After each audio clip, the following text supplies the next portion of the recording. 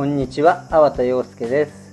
T シャツライブペインティングをご覧いただいておりますが、8月20日に東京高円寺にある猫の額さんの店頭にて行ったのですが、この日は小雨が降ったり止んだりの天気でしたが、濡れてもすぐ乾くので気になりませんでした。ただ書いている T シャツが濡れてしまうと困るのですが、お店の屋根がちょうどかかっていて、書いている T シャツは濡れませんでした。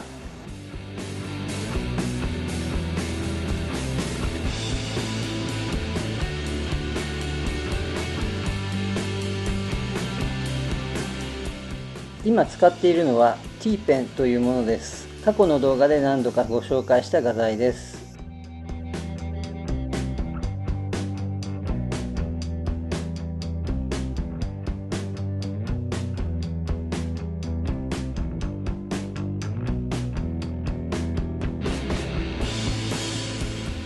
ここでちょっと手が痛くなったので左手に持ち替えました。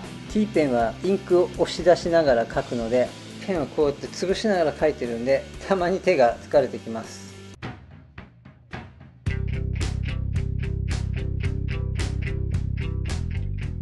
そうそうそれから猫の額さんでは現在私の個展プライスレスお金で買えないものが開催中です2022年の8月19日から31日までです。ご興味のある方はぜひお出かけください。詳細は下の概要欄に記載しておきます。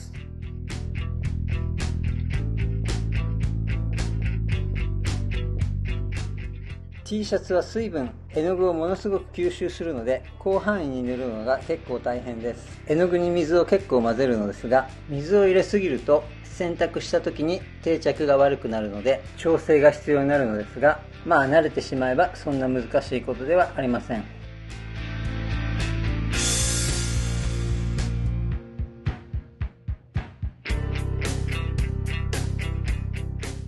手書きの T シャツを洗濯しても大丈夫かという質問をよく受けますが洗濯しても色落ちしません。大丈夫です。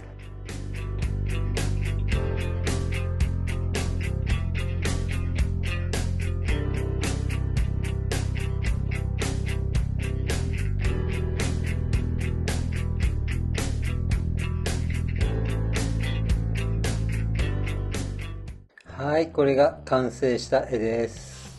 でこれがシャツの裏側なんですが表側にも絵を描きました。でこのシャツの他にもこんなシャツとか。でこれが裏側ですね。でこれもシャツの裏の部分。そして表の部分ですね。これはこっち面が表でそしてこっちが裏側です。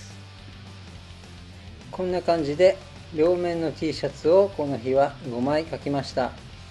描いた絵はこんな感じで販売中です。そして私の個展ですね。YouTube 動画で描いた作品も結構あります。この個展のタイトルはプライスレスお金で買えないものです。まあ作品はお金で買うことができますがテーマとしてお金では買えない命とか愛情とかそういったいろいろなことを私の作品を通して表現したいと思った展示会です。なんて言って綺麗事だと言われちゃったんですけどお金で買えない大事なものは綺麗なんですから全くその通りですよね。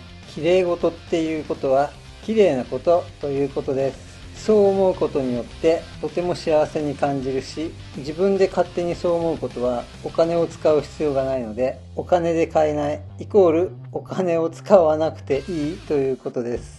幸せにはタダでなれるけどお金がなければ今の時代生きていくことはできないと思います。かけがえもなく大切でお金で買えないものはありますが私はお金がいらないとは言っていません。ただ当たり前だと思えるけど実はかけがえのないたくさんのことに気づき常に感謝し続けていきたいと思いからこのテーマが生まれました。先ほどもお話ししましたが個展の詳細は下の概要欄に記載しておきます。では最後までご覧いただきありがとうございます。この動画が良かったと思った方はぜひ高評価、チャンネル登録の方もよろしくお願いいたします。ではまた次回お目にかかりましょう。さよなら。